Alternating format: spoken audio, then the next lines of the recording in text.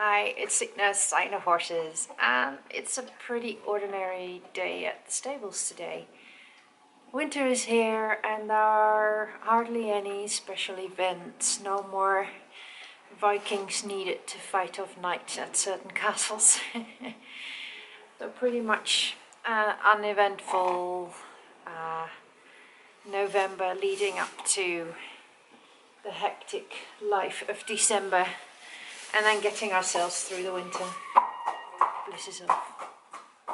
But I do have that green mat that I bought at Ikea and um, I've already tried it out once or twice with Blizz and I was actually quite surprised about the results so I'm going to put Blizz on that mat again and show you how that works out. But first he needs some food.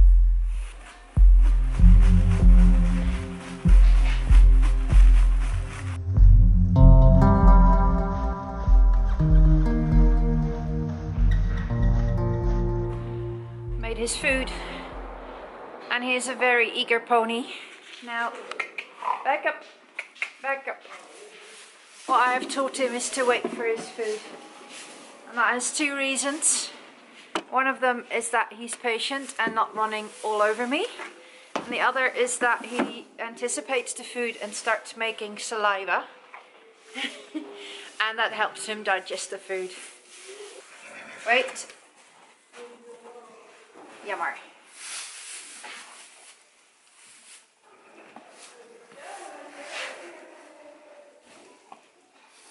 That's how you get a very well behaved little horse. Sometimes I him, make him wait longer, and sometimes not so long, and sometimes I don't even make him wait at all.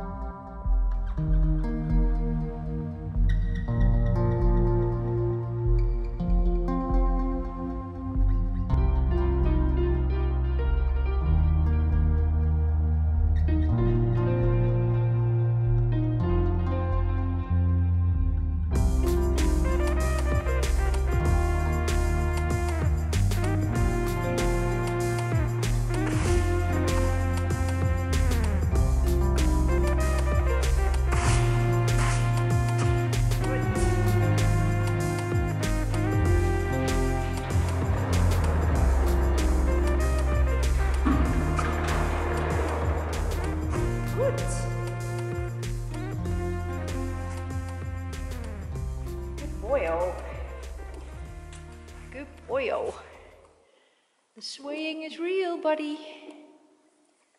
The swaying is real.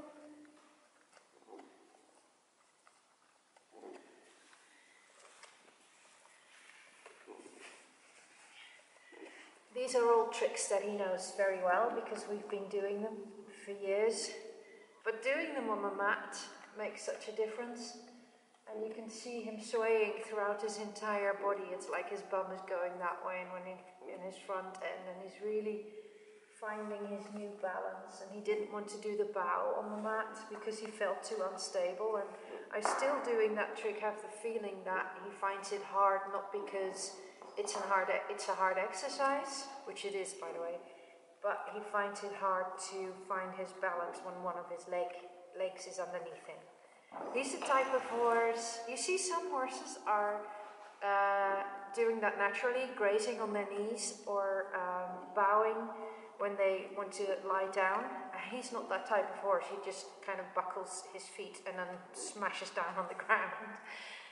So for him to do these exercises is very hard and to do them on the mat is just another exercise in itself. He's still swaying. I think he likes the swaying. You like it, buddy?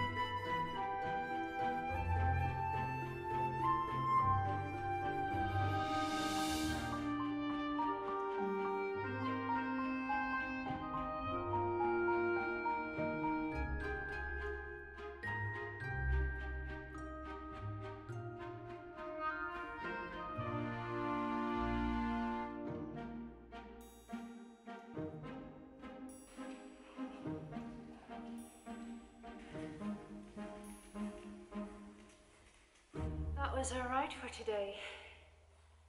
Uh, I've been getting the feeling lately that he's not very much into workouts. Um, but as soon as I get on his back, he's like, oh yay, let's do something. And then he's awesome. So maybe he's bored with all the groundwork and tra training and that sort of thing. And he just wants to have fun with me.